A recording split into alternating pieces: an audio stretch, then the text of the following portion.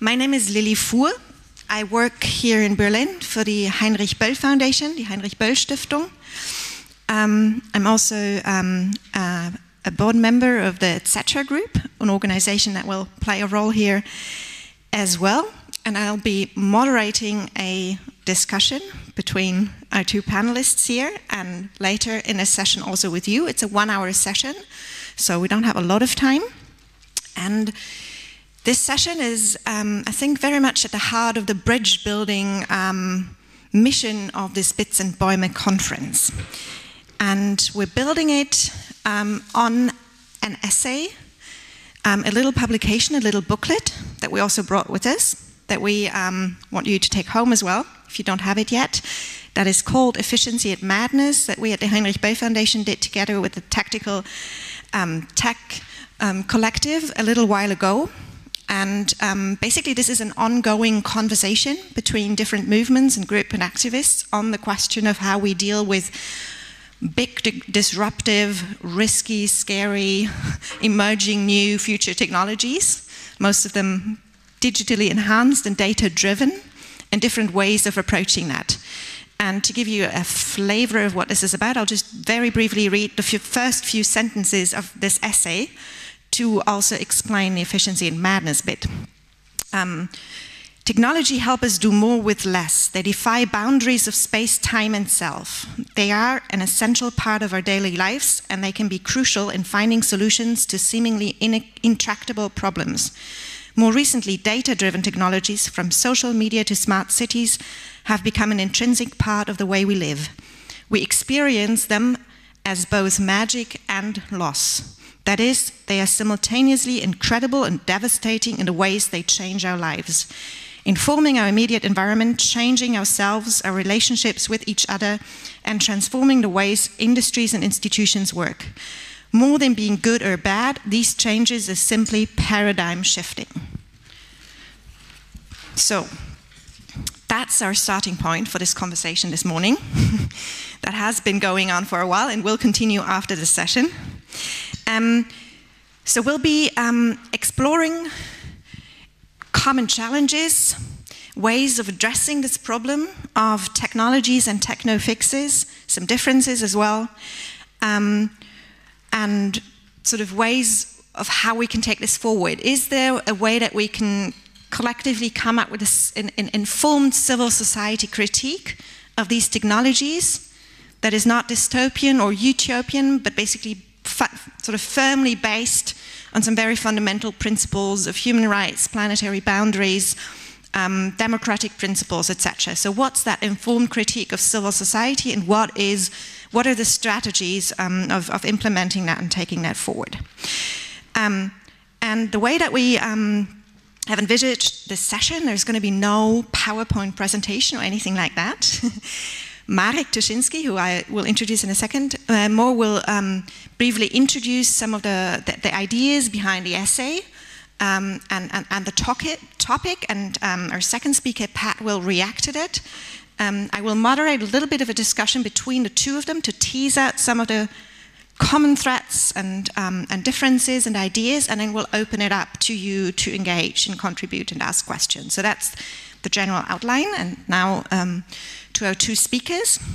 So Marek is the co-founder and, and, creative director of uh, the of Tactical Tech or Technical Tactical Technology Collective, a non-profit based here in Berlin. Um, and um, Tactical Tech works basically at the intersection of technology, human rights, and civil liberties which is, I think, very relevant for the context and framing of this Bits and Bäume conference. And you might have come across them through um, their, work on digital security and training that they give to activists, or their research on these questions, but also their cultural interventions. Um, so Marek will be speaking first, and, um, and then Pat Mooney will react to it. Pat Mooney is um, from Canada. He's the founder of the um, ETC group or ETC group, the action group on erosion, technology, and concentration.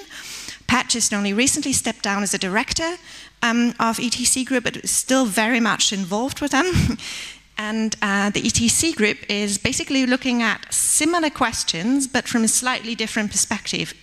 Etc. group is very much um, sort of embedded in movements and civil society groups looking at the social, economic, and ecological implications of technologies and how they change the lives of vulnerable people and poor communities, how they change our ecosystems and food systems, looking at the ways that we need to regulate them through UN institutions or at the national level, what kind of technology assessment is needed for these technologies. So um, this is why I'm personally very excited to finally have the, these two groups and perspectives in one room for a conversation. I've been trying to, I've been wanting to have this conversation in person for a long time. Um, so personally very excited about it, and with that I will hand it to Marek to introduce the topic.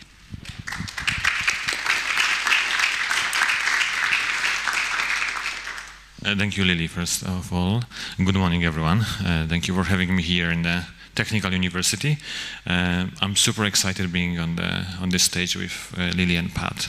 I'm not an academic or scientist, and I'm not a technician. So I'm always uh, surprised that I'm invited to places like uh, universities and so forth. And I sometimes suspicion my, uh, I suspect that uh, maybe there's a mistake, but hopefully it won't be. Um, what I will do, and uh, Pat made a very nice comment that uh, we're not going to use any visuals, we're not going to use PowerPoint because we don't have any power and we're not going to make any point uh, by the end of the day. I would like to guide you through some uh, examples that we encounter in our work.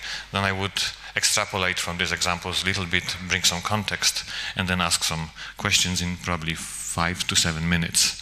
Um, so I will ask you to use your imagination as a first tool.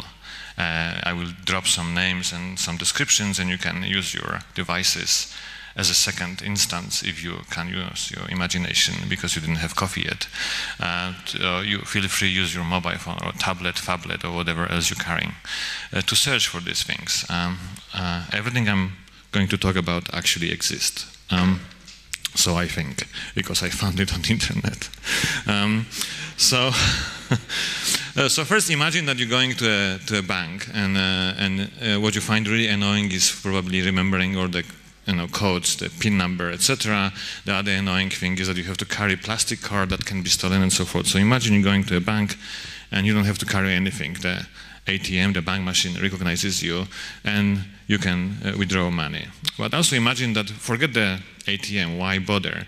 Why don't you go to a shop and do shopping and don't look for your wallet, plastic or non-plastic uh, kind of a system that you're using for pay for things and uh, it is paying by recognizing you and so forth. And that sounds like a very nice system and it's being experimented on right now in place uh, called Jordan.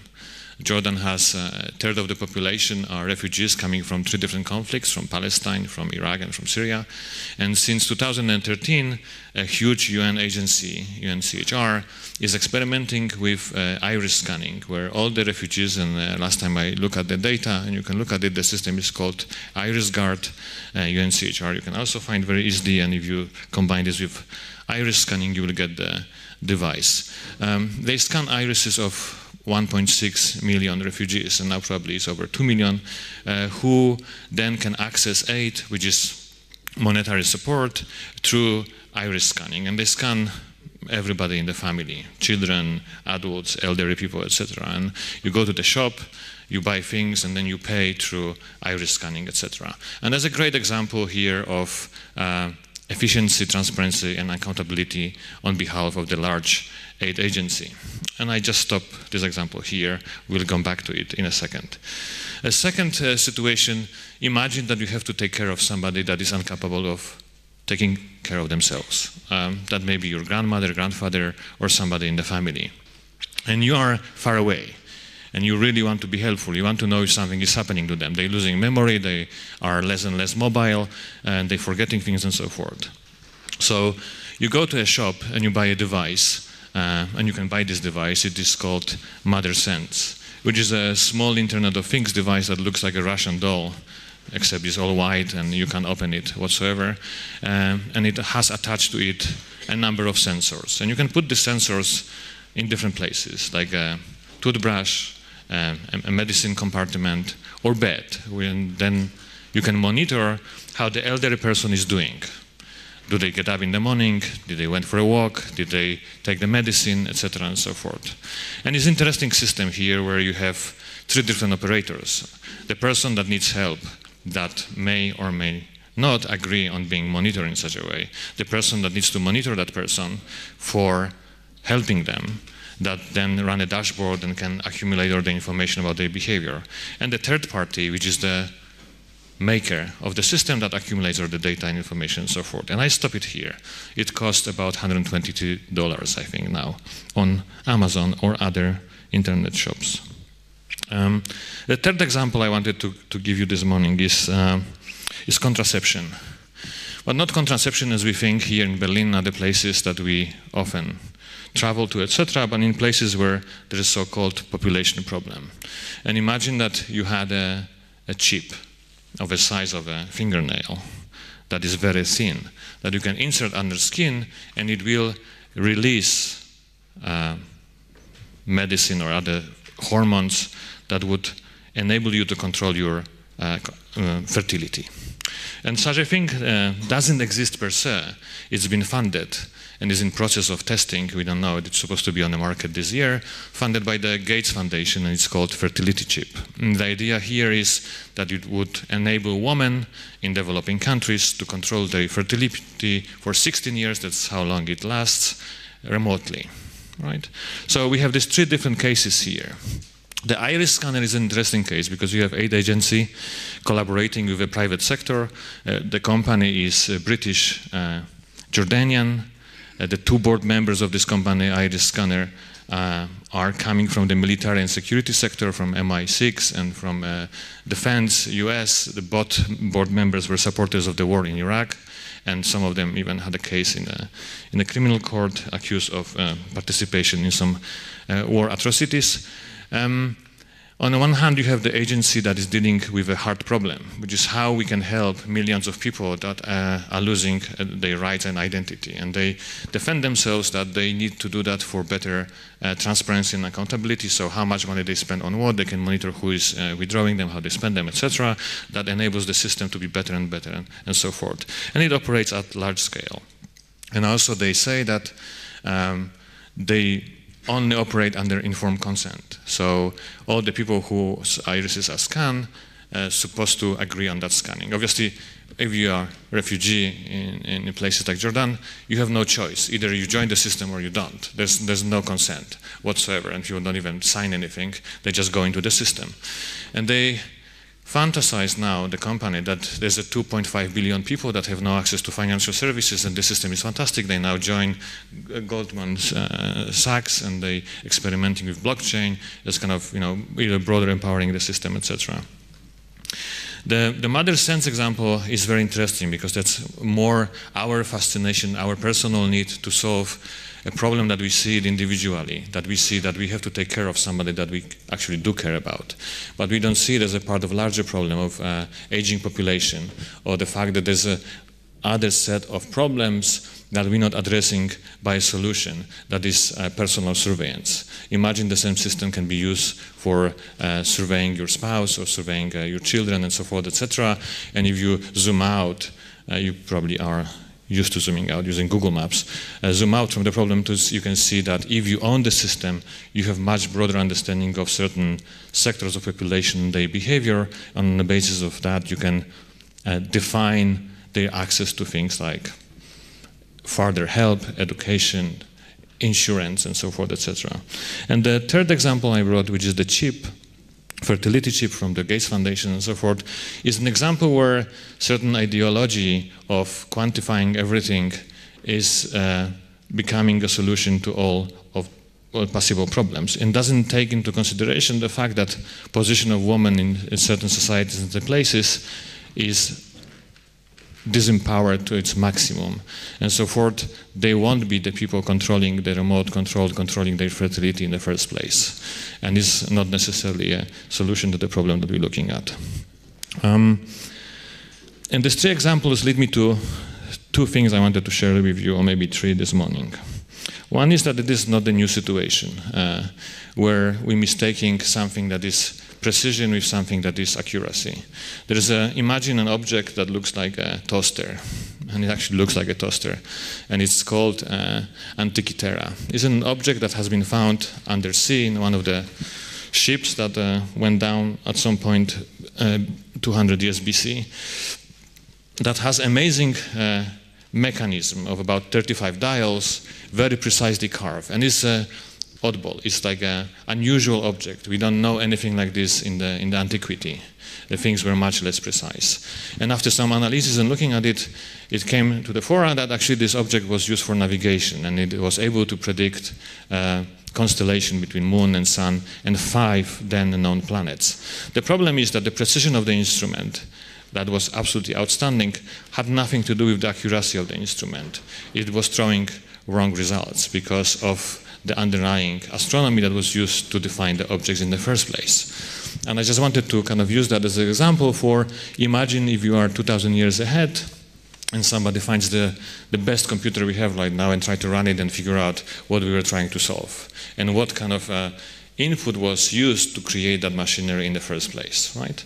And that leads me to two kind of, uh, and that's going to be the end of what I'm talking about here, and I'll pass to Pat. Um, two historical moments that are very important also from the point of view of the efficiency and madness that we've been uh, writing together with Steph. Uh, so one is obviously the, the cybernetics. cybernetics is a specific way of thinking about the world. So it's underlined by three, I would say, important notions of one, that we're living in a complex systems, and these systems are somehow uh, rational. So there is some logic in the systems that we, if we only have enough information about the systems and as a constellation between biological, non-biological, technical, non-technical, predictable, unpredictable, we will be able to compute them to create a model of them. That's a, that's a one principle of cyber, cybernetics. The second is that the systems are correlated through the small bits of information, and they only signals. So if we're able to gather all these signals and uh, put them into a machine that we design, like a computer, for example, we also able to control them. We're able to understand them and so forth. And the third, third principle is if we have these two things and we able, we have the capacity and so forth, regardless of all this randomness and complexity of the systems, we also are able to predict them. And prediction become a big thing. Uh, cybernetics comes from the military. Uh, it was necessity for predicting operations and actions of the enemy and so forth. Uh, and there were always problems of resources. So uh, cybernetics was used for predicting uh, how you know the military operates and so forth. Um, and the second historical moment that is defining the kind of a digital reality and quantification that we're living right now, and this kind of a way of thinking about our, our world, if you like, the planet Earth, and so forth, is a debate between, uh, and that's I'm borrowing that from Felix Stalder from his lecture here at HKW uh, this year, uh, debate between Boyle and Hobbes. That's we're talking about, uh, I think, 17th century. No, actually 18th century. 17th century was the other thing I wanted to tell you about. So um, the, the, debate was uh, what is knowledge, basically. And uh, on, on Boyle's side, knowledge was something that is neutral, that if you have a decent group of people and they discuss a problem, they ask questions, they find evidence, they can come up with, with solutions to problems. And that led to distinction between different uh, elements of our society. So this is the time where power is separated from church, separated from science, and so forth. In each groups, respectively, we can debate different ideas, bring different forms of evidence, and come with different conclusions. While Hobbes, uh, that got no traction at the time in the debate, proposed something very different that knowledge is always political, with no exceptions. And it seems to me like we are coming back to this moment where, uh, with the power structures, with the certain dominance of certain businesses, specifically data driven, we kind of going back to the conclusion where actually knowledge is, uh, is power and is political, uh, where we see who are those who are able to accumulate bits of information, data, and evidence, and then turn it or not to different forms of knowledge and distribute uh, accordingly. At the same time, these powers are totally incapacity to throw out a lot of randomness to the world that we as individuals have to live and deal with proxy problems very often, or problems that are important to us individually, but remove us from looking at problems that are global you know, planetary scale and very complex and so forth. So this is the kind of a, a short verbal audio essay I wanted to share with you this morning. Before my first coffee. So I probably pass it now to Pat to, to see how he'll respond to that. Thank, you. Just, yeah, you can get up. Thank you, Marek. And maybe we can already stand here to keep it dynamic, so you just stay with us, and Pat, you can get up. And um, um, I'll invite you exactly to react to that. And I'd be interested specifically for you to, to react to some of the themes that Marek brought up, um, including precision, quantification, how that relates to worldviews and ways of knowing, and also the theme of accountability um, and the kind of players we're looking at um, corporate governments, military, etc. Okay, thank you. Uh, wow. The, um, the, um, he was supposed to do the efficiency part of the presentation, and I was to do the madness part of the presentation. But I think you just got the madness, uh, not of his madness, but the madness of, of the world we're in. Um, the, I, I, think we should address perhaps those, those um, what does this mean in wider dimensions as well the world that I look at is one which, and most of my work is around agriculture, so I'll try to, well, it's not exclusively that, I'll try to look at how this digital world now is, is impacting our food supply, our food systems, and how it may well impact them in the future, and who is in control of that, because that's what finally it comes down to, I think, uh, who, will, who will be responsible for our survival in food in the, in the decades ahead. It's, um, uh, and it's a world where the efficiencies um, can seem terrific and tremendously excellent, and then the realities are just completely different from that. We've seen a world now where, because of digital information, uh, we, there's no longer a real distinction between um, moving um, data about uh, transportation, communications, in normally conceived information around, and the information related to biology. So, as much as you can have digital computers, you can also have digital DNA. And the ability to now to, to adjust DNA to the specifications of an industrial system is so far beyond biotechnology that it's that it's uh, it has to have its own terms. It's now called gene drives and synthetic biology, but it's a capacity now to simply look at the DNA of life of any species and edit that DNA. Not only just edit the DNA, but turn that DNA uh, into a drive, which you can force then a characteristic that you've created through an entire species, so that you can make um, a recessive gene dominant. You can make something, you can create sterility in a species uh, very rapidly because of these abilities to make changes. So it's not just a digitization of, of uh, our, our, our, personal information, it's a digitization of our own personal DNA and everybody else's, everything else's. It's also a world in which then because of that, those transformations, we can't be sure who will finally control this we find ourselves in a place where we were talking the last two years about how Bayer was going to take over Monsanto and Syngenta was going to be bought by ChemChina and Dow and DuPont were going to merge. And so the beginnings of our food supply, the seeds and the pesticides of our food supply, were going to be controlled by basically three enterprises. And that seemed to be alarming, that kind of concentration, driven, as the companies themselves said, driven by their desire to control the technologies and the digital information. That was the cause of the mergers. But then we find that it's not just that, because of that same digital information, Amazon buys Whole Foods, the world's largest uh, uh, uh, organic foods retailing company in the, based in the United States. And Amazon moves into providing food uh, in the same way, buying grocery chains in China and in New Zealand. And we don't know where else after this because Amazon is now becoming a food company.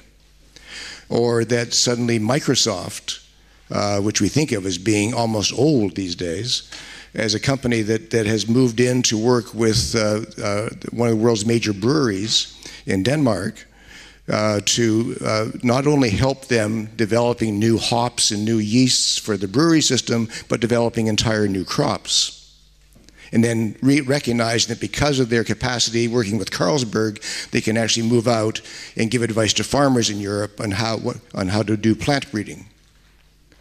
So suddenly Microsoft becomes a plant breeder. Or looking at the changes taking place with um, um, uh, companies like uh, uh KFC. The, do you call it KFC here or Kentucky Fried Chicken? KFC. KFC is very proud of the fact that they they now have a digitized process to monitor uh, their production lines so they can use a blockchain to track all of the sources of their, their inputs, the chickens and the potatoes and so on, and there are not many things in Kentucky Fried Chicken, and, and uh, get them to their stores. And to, to advertise their brilliance at their efficiencies, they actually shot uh, um, a bucket of chicken into space. They blasted the chicken into space. Um, that's high tech, apparently. Uh, at the same time, almost in the same month, KFC wasn't able to get chickens to its shops in the UK. They set up a transport, uh, the blockchain set up a mechanism that simply did not work, and most of the shops in the UK selling KFC chicken had no chickens. So they could put it into space, but they couldn't put it into the store across the street. And we have this same thing as with, um, in terms of the efficiencies with um, companies like um, Walmart, the world's biggest food retailer. Walmart claims that because of their efficiencies now, they can take blockchains and track 30 different products from farms scattered throughout Latin America all the way to the grocery store in the United States or Europe.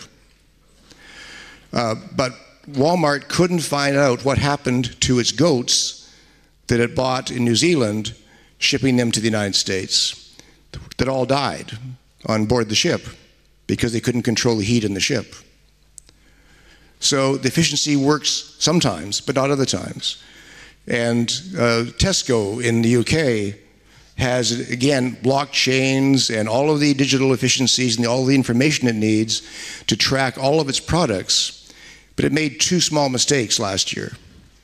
One of them was that they didn't realize in tracking their products that the migrant African workers in Italy were dying in the field because of heat prostration and because they weren't allowed to go to get medical help.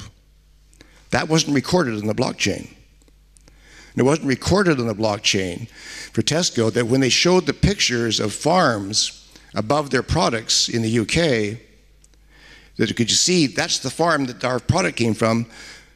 Those farms don't actually exist. They're just photographs of random farms. Had nothing to do with the products. So while the blockchain seemed to prove that efficiency, the reality was again totally different. But now we're also in a world where we can again Peruvian farmers are being told that they can protect their land rights from land grabs if they again put their digital information about their land on the internet so that the ownership of their land is clearly defined and identified and proven by a blockchain again to show that that's theirs. No one can take it from them. Except that when they do that, by the thousands in Peru, it means that someone at a computer terminal in New York at Goldman Sachs can suddenly recognize that they can commodify all of that land.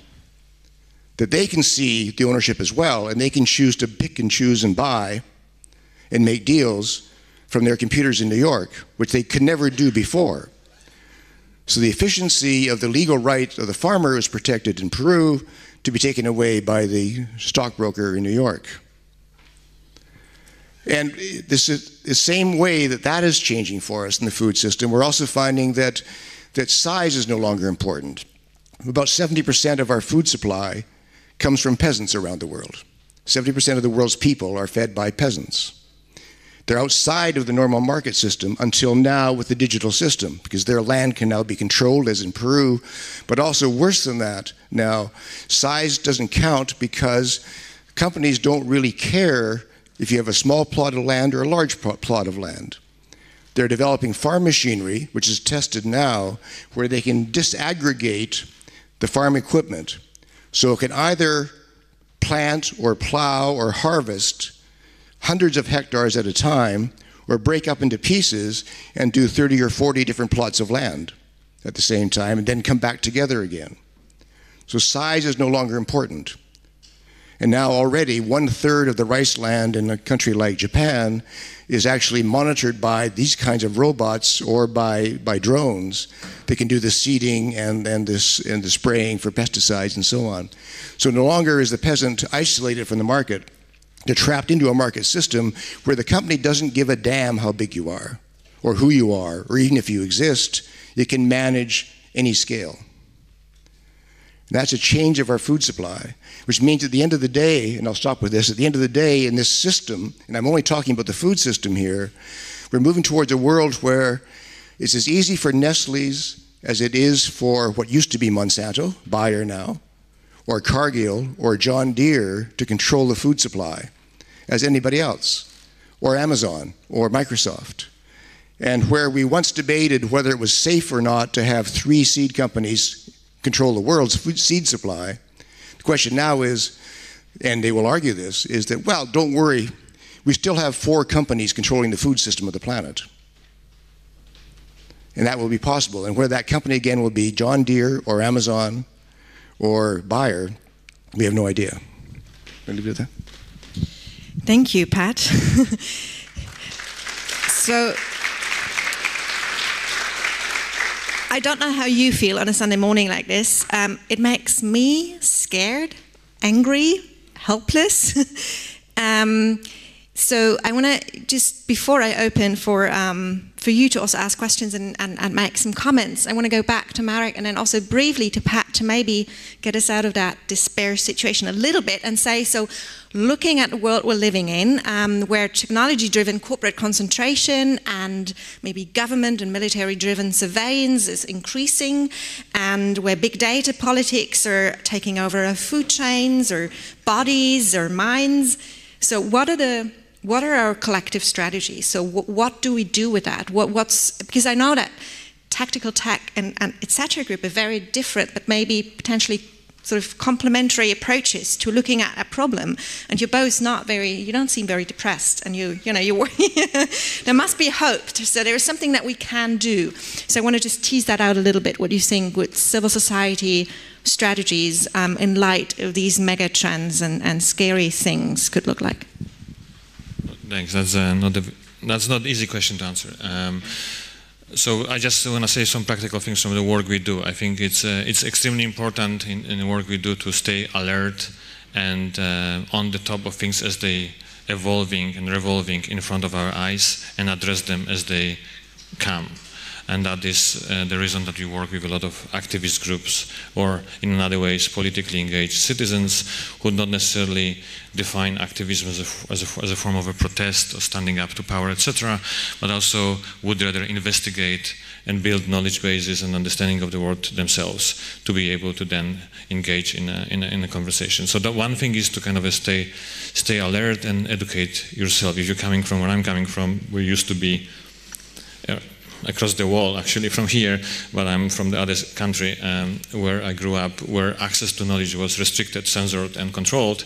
Um, the only solution we had that we didn't want to comply with that was to educate ourselves, and that's what we do. We, we we see ourselves as a kind of an outfit that is bringing different forms of information, knowledge, and understanding.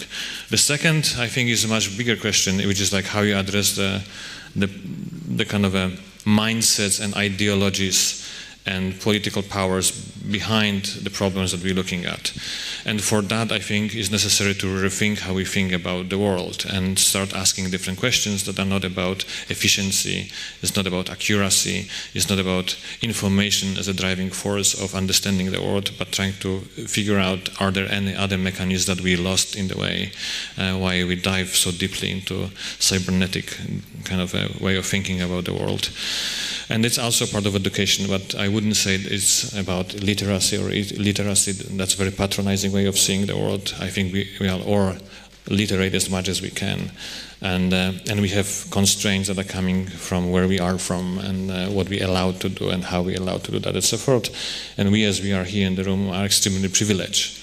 And I think we should use this privilege uh, uh to be more critical about the world and what we're doing in the world ourselves. So that's kind of, I'm going too dramatic now. Well, I mean, one of the things that we've learned, and I am optimistic, it's, it's, a, it's a genetic defect, I'm sure, that can be cured. But, uh, or driven. Or driven, well, maybe driven. Uh, is, is uh, I've learned at this conference already is, is that uh, certainly ETC group needs these guys. We need to work together technical tactics. We, uh, uh, you have things and knowledge that we don't have, and, and maybe a little bit of the other way around. I'm not so sure, but, but uh, we need a wider collaboration um, I was saying to, last night in another meeting that, that um, uh, in ETC group we spent 40 years chasing ambulances, uh, one technology after another, as they come along, as they appear on the horizon and drive by, and we rush, rush after them, trying to solve problems that they create. And uh, we have to stop doing that. So those of us who are working on energy systems, those who are working on mining, those who are working uh, with uh, pharmaceuticals, uh, we're dealing with human rights issues, we're all faced with technological questions about those rights and those issues, and we need to find ways to collaborate more closely. Uh, we need, instead of chasing ambulances, we need to have a capacity in civil society to assess technologies in our communities, at the national level, at the regional level, and at the global level to say, okay, this, this is what's coming down the horizon. These are the new things. Geoengineering, for example. If you want to have a really bad day, we can tell you about geoengineering. Um, that that's, these things are coming, and we need to now figure out how to address them. And knowing that they're coming, we can address them. It's possible. And the systems that we're, challenge, we're, we're being confronted by are the same. They are big data technologies. So that's the platform we have to deal with, whatever the specific issue is. And we need to have citizen-based assessments of these technologies. And then I think we do need to go beyond citizen-based, but have the citizen-based in information get to national governments to change national government views on technologies. And also, I think I would argue, place that at the United Nations level as well. That's the start. Thank you. So, um, looking at the time, I really want to make sure we have enough time for you to engage in this discussion. So, we've opened it up, addressed quite a number of issues. Um, now is the time for you to um, ask questions, make short comments, contributions. Um, so, if you can, there's a, a, microphone that Ricardo has here. So, if you can raise your hand, and then we'll maybe um, collect maybe one. Yeah, I saw two here in the front and then in the back. And um, please, very briefly, say who you are and then what you have to say. Hi, uh, my name is Sebastian. Um, I work in science communication, if that's relevant. Um, I wanted to, to ask to you two, what's the, what would the issue of the narratives? And what I mean is that in a little bit implicit or more like explicit in what you said is the fact that there seems to be a double narrative. Like we are told that these, I don't know, this things are done in, uh, for efficiency, for progress, for the well-being of everybody, but clearly they're just looking, the, the, corporations are looking for a bottom line, they're, I don't know, um, the governments make decisions that are not really for the well-being of everybody. So what is the, the way of dealing, uh, continuing with this question of how can we see what, what's possible to do when it comes to unveiling these false narratives? You know, what are your thoughts on that? Okay, let's take um, the question in the back. So I'm, I'm, just in the very back, sorry. And then can those who want to speak just raise your hands slightly bit higher so I can see? Hi, my name is Paulo. I write about arts and politics and uh, cultures of resistance. Um, when I walk in this building this morning, there's an image of one of the celebrated um, scientists, uh, Konrad Zuse, uh, on, the, on the wall when I come into the building of TU. And uh, Konrad Zuse created the, the first uh, programmable computer. And he's still celebrated as an incredible pioneer. Um, but he was also building guided missile systems for, for the Third Reich. And I find it also very difficult to find when is it um, where is the line where uh, you are working with or encouraging people to work in projects that are really techno-fascism? And um, you know, then it comes up, if I bring it up to speed now, somebody like Steve Wozniak uh, helped build Apple computers. uh, are these people today participating in techno-fascism, and how do we how do we uh, address the people who are participating in the development of technologies that are being used in, in these systems of techno-fascism? Are you fine with me taking one more question? Is that yeah? Just is there any woman who wants to speak? Sorry, I'm just only seeing men raising their hand. Okay, here in the front. Thank you. Sorry. I'll remember you other guys. Ah. Thank you. Um, hello, my name is Albina. I study computer science and environmental governance. Um, my question is more towards the food supply and demand um, aspect. So, with the Green Revolution, it was very clear where we're going in terms of mechanization, improve the production to feed the people in the world, um, use of pesticides, and so on. Um, however, today, as far as scientists keep telling us, this is not anymore sustainable because with the climate change, we can't really predict how much food we can still produce. So, um, my question is do we have a certain um, a certain, so, so, to say, topic of those four companies that they're driving for? What is the goal? Do they, do they have an approach of how they want to solve the problem of feeding people and at the same time not running into the dead end with um, soil degradation and climate change? Thank you. Thank you. So I'll hand it back to to speakers. I'll ask you to be um, fairly precise and short, um, efficient and mad at the same time, um, so we can do one other round. Pat, do you want to start?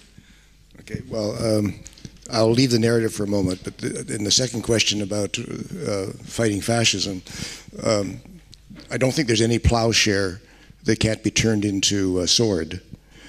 And so sometimes it's only a matter of time. If you look at any technology, um, how could it be perverted? Uh, so the, the, the best wishes of the inventor, and I'm not suggesting they all had good wishes or good intentions, but can be turned into something else and we could probably go through a long listing of plow, what were perceived at one time to be plowshares that ultimately became swords uh, used against societies. They don't have to be that way, but, but that's the reality. Trying to fix a particular point where you say, aha, that's where fascism begins, I think is hard to do.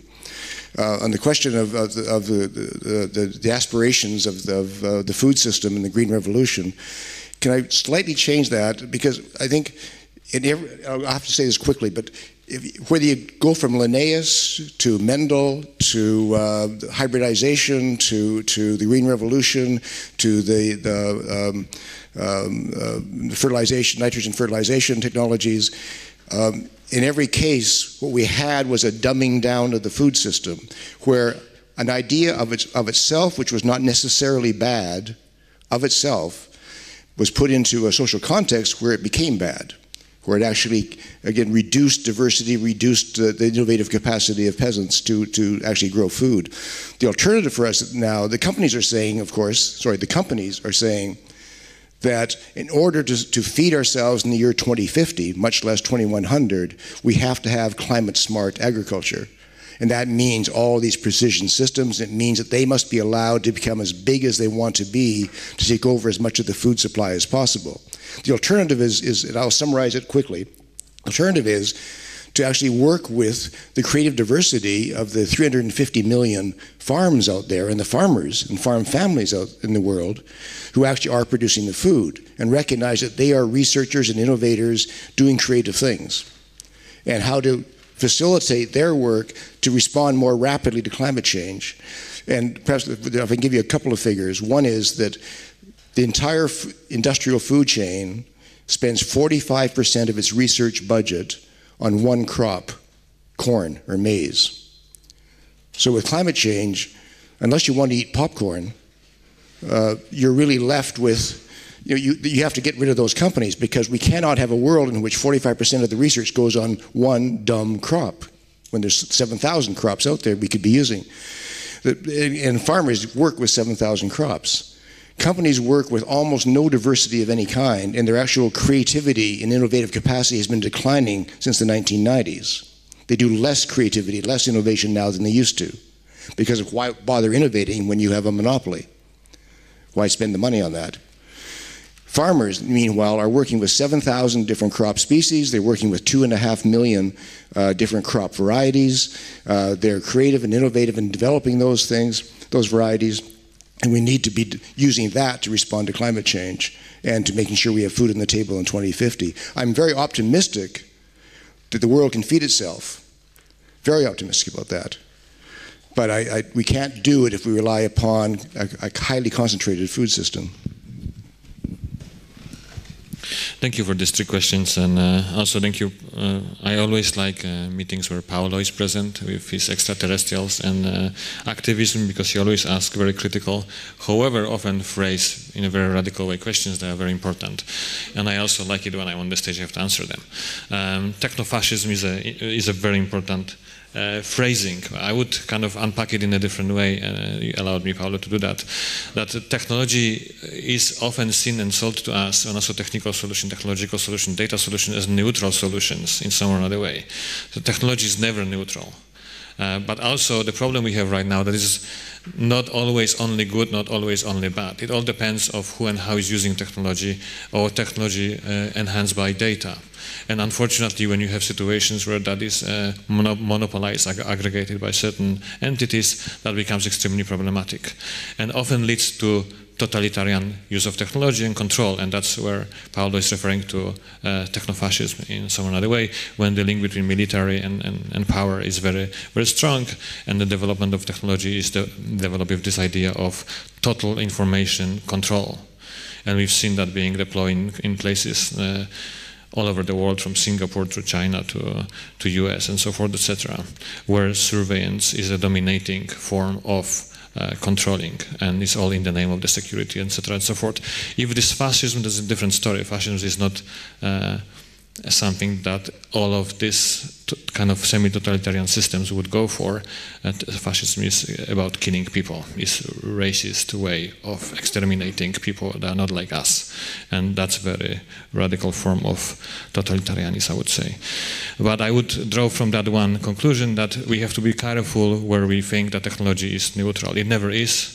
And, uh, uh, and that's, I think, the main uh, thing. But the question about the inability for certain powers and structures like government, uh, the question you ask about why is it that easy to, mm, you know, not understand the systems, is that not only the people in power in parliaments and other places, regulatory uh, bodies, etc., have problem with uh, frameworks and methodologies that they use. We often use methodologies and frameworks and ideas like privacy that do not necessarily apply easily to how technology is defining society or, or, politics nowadays, if you like, or power for that matter. And a lot of uh, these institutions are driven by certain bureaucratic processes that are incapable of following something that is developing much faster in parallel. And it's interesting that you can make a lot of parallels between Facebook, for example, nowadays, and the whole crisis with how they behave, how they abuse the users, etc., and so forth to what was happening before with tobacco industry or oil industry and so forth, etc. The problem is that these old corporations were easier to control in time uh, by existing frameworks. And Facebook is capable of doing that because there's no framework developed by us to be able to time them quickly enough so the damage is not massive. And the damage is really, really big now, uh, what they do to politics and so forth, etc. So I don't have an answer to that question. I think it's again, uh, uh, is about education and understanding, but also kind of foreseeing where these developments are leading us to and stopping them at a time where it's still possible. Uh, Thank you. Let's do one very quick round of last questions. So you've been wanting to speak for a long time, and then here in the front, um, and then yeah, very quick answers. Thank you so much. Um, I'm into compost and low tech. I'm based in Berlin. My name is Joachim. My favorite actions are the interactions, and there's a small example. There's a superfood, it's called water. We drink it every day, and it's the source of life. So, thanks a lot for your um, presentation. I would um, favor showcasing alternatives. You can um, refill this source of life called water for free here in the building. There are toilets. You can also wash their hands, wash your hands there, and help um, at the kitchen. You can buy water for 30 cents, and you can also um, fill water, design it nicely, and sell it for five euros a liter. It's all possible. So it's all alternatives. And there's an experiment for everyone. Ask people to refill your water. I think this is a very nice um, Thank you. Can you just make it Yes, that quick? was it. Okay, thank you. Thank you for that comment. So I'll go over here. Um, yeah, hi, I'm Julia. I'm currently working with FIAN, and my question is particularly to Pat because you talked about how um, these issues should also be um, brought to the United Nations. And now, like currently, there's a debate: what what should we do? Because currently, we're actually observing that the human rights architecture is really crumbling. And so, what is your opinion on that? Is there like how should we approach this now? Thank you. Okay, and before I hand back um, to the two of you, I also want to add one question for a final round of answers. I know that both ETC Group and the Tactical Tech Collective do a lot of horizon scanning of uh, things that we collectively need to worry about. So, what's next? What's ahead? Um, these predictions um, tend to be true in many, many cases, which makes them very scary. So, I'm curious if there's or there like one or two trends or things that uh, you want to you want to mention in this final round, something to keep in mind and worry about going forward. But I'll start with you, Pat, because there was also a specific question. Okay. Well, you're absolutely right, of course, that human rights is under threat, and, and uh, that's terrible, and it has to be challenged wherever we, where we find it. I do think that um, for all kinds of, of geopolitical reasons, the UN is an interesting place to try to introduce the concept of, for example, technology assessment as a, as a UN treaty. Um, uh, that sounds absurd if you think of a five year time frame. It's not absurd if you think of a 15 or 10, 10 15 year time frame. Um, there's, there's lots of reasons why governments in the global south would want to have technology assessment and, uh, and, and some in the north as well. There is a general nervousness and uncertainty about it uh, in, in societies, what's happening with technologies. This is the time to take advantage of that. By pushing an issue at the United Nations level, its real advantage is that it actually gets the attention of governments in the global south to say, well, we must do our own thing in our own countries and civil society there as well. But it has to be ultimately uh, anything that the UN does or national governments do will not be effective unless there is a capacity in civil society to monitor technologies and to make their own assessments. So grassroots assessments are the highest priority. In terms of things that are coming, uh, just to make your day complete, um, I think the, the, greatest concern I have uh, is not artificial intelligence. Um, it is uh, because of climate change, uh, governments do have a way out of this which is a temporary way out of this, which they will probably use, and I'm alarmed about. is called geoengineering. I mentioned it before. It is the idea that you can blow uh, sulfates into the stratosphere to block uh, the, uh, the sun, which means that you can lower temperatures artificially for um, by one or two degrees, perhaps even, and delay climate change, causing many other kinds of problems, but delaying some aspects of climate change.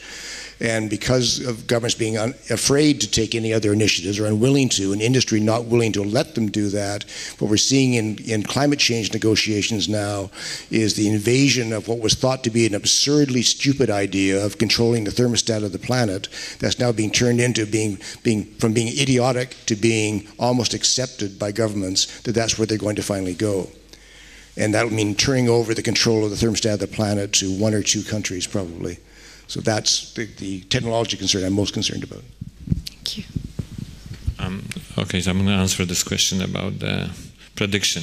So I don't do prediction. Uh, uninterested, I'm incapable. I am not. I have no idea what's going to happen tomorrow uh, at all. Uh, I'm sorry about that. Um, so uh, we work like what you call the environment scanning is more about two things. So when you work with the organizations on the ground, we mostly come from the sector of human rights and um, justice broadly understood, etc.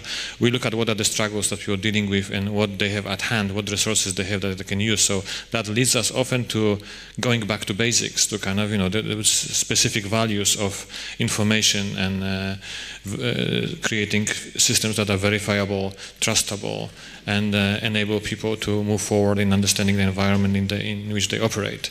On the other hand, we also work with a, with kind of a more Western public like yourselves as I can see, uh, that are the consumers and users of technology, that probably the way you use technology mostly for entertainment and other things in principle, and the rest for, for work and other things and your activism. And for that, uh, we're looking at what questions you are asking, what is your understanding of what the devices, tools, technology, underlying platforms and systems are actually doing, what is your role in this constellation. And for that, we, we propose different alternative ways of seeing it, and you can see it here on the third floor. It's called the Glassroom experience, where we try to kind of, you know, make it in into more tangible way uh, and more ambiguous way, enabling the viewer and user to ask questions that otherwise it's very hard to ask because we're dealing with extreme you know, complexity here.